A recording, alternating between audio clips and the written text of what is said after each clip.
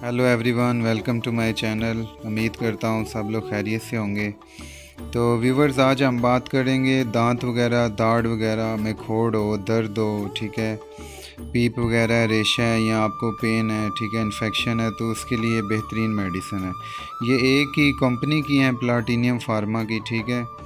Easily आपको हम market से हर कहीं से जो है, मिल जाएँगी। लोग खुद से भी लेते हैं। डॉक्टर वगैरह भी जो है ना मोस्टली यही प्रेस्क्राइब करते हैं। तो इसमें सबसे पहले हमारे पास प्रीवेंट है, ठीक है? ये प्रीवेंट आप ले लें या फ्लैजियल ले लें, ये एंटी इन्फ्लामेटरी होती है, ठीक है? एक तो काम करती है कि गर्म कैप्सूल से आपको, आपके मैदे में असर ना हो और दूसरा जो है ना दांत के इन्फेक्शन में भी काम करती है, ठीक है? तो इन तीनों की जो है ना आपने छः छः गोलियाँ ले लेनी है, ठीक है? सुबह, शाम तीन दिन का कोर्स है। फाइव डेज़ का होता है, लेकिन मिनिमम जो है ना थ्री डेज़ का लाजमी पूरा करें तो ताकि इन्फेक्शन वगैरह जो है ना, वो ख़त्म हो जाए।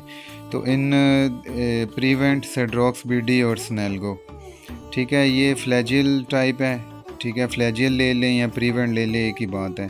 ये सेड्रॉक्स बी है, ये एंटीबायोटिक एंटीबायोटिक है एंड इन्फेक्शन वगैरह के लिए, ठीक है, और ये स्नेलगो ये पेन किलर है।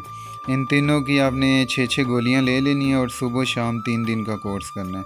और व्यूवर्स अगर आपको जो है इन्फेक्शन के साथ, दर्द के साथ अगर जो है ना आपके मसूड़ों में सोजन भी है तो ठीक है, ये कैमरल फोर्ड टैबलेट आती है, ठीक है ए जी पी की। ये आपने ले लेनी है। ये भी साथ आपने छः गोलियाँ या दस ले लेनी है, ज़्यादा सोजन है तो तीन टाइम ले लें। कम है तो इनके साथ जो है ना छः टैबलेट ले लें तो सुबह शाम आपने खानी है। कैमरल फोर्ट ले लें सोजन के लिए, या डेंजन डी एस आती है।